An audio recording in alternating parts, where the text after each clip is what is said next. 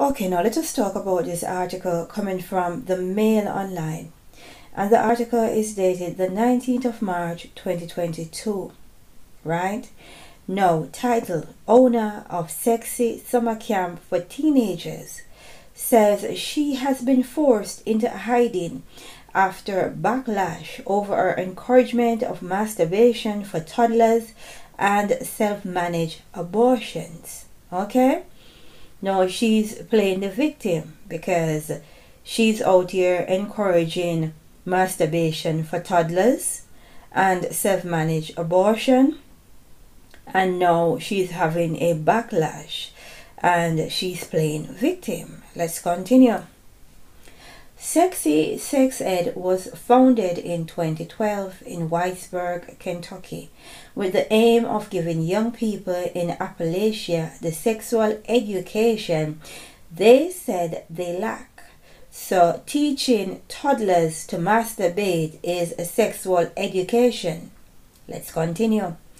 On March 16, a journalist with the Manhattan Institute, Christopher Rufo, who specialize in culture wars reported on their work.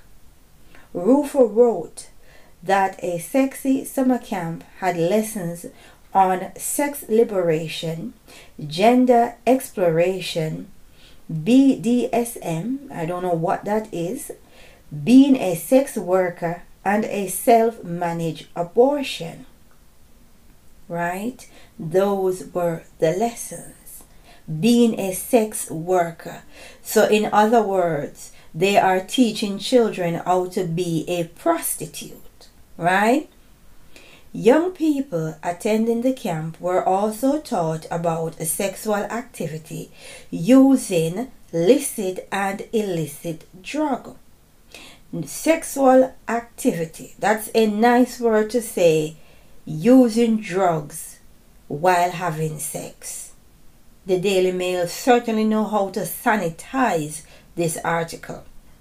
Now, the team behind Sexy Sex Ed say our educators, so people who teach young people to be prostitute, encourage toddlers to masturbate, they are educators.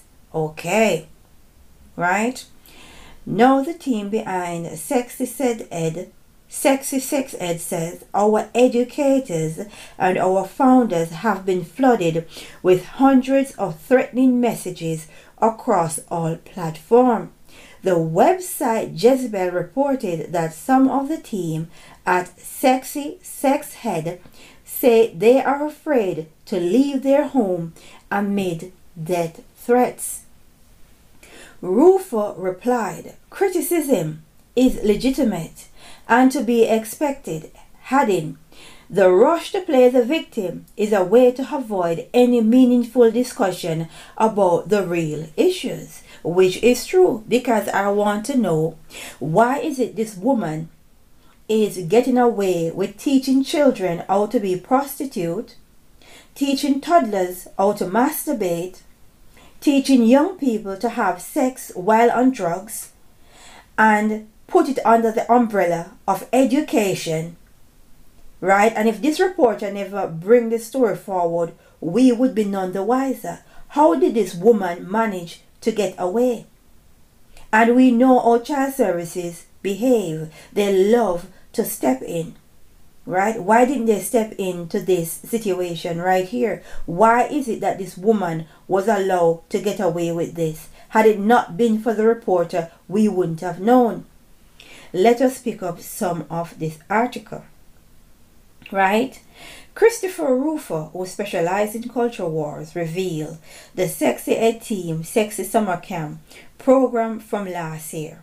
He wrote that the session for teenagers aged 13 and above include lessons on sex liberation, gender exploration, BD, BDSM, being a sex worker, sanitized wording for prostitute, self managed abortion, and sexual activity while using licit and illicit drug. Right?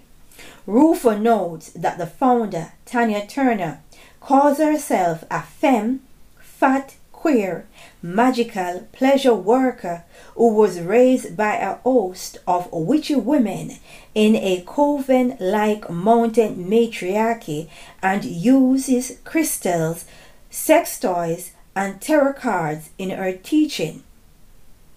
So, hold on. I am lost for words. Are they trying to tell us that this woman is using sex toys and tarot cards in teaching children? How did she manage to get away with all of this using the umbrella of education? Right? How did she? This is unbelievable, right? No, in a video on a social in, in a video on a social media, she said that she has encouraged her four-year-old nephew to masturbate, describing it as healthy and normal.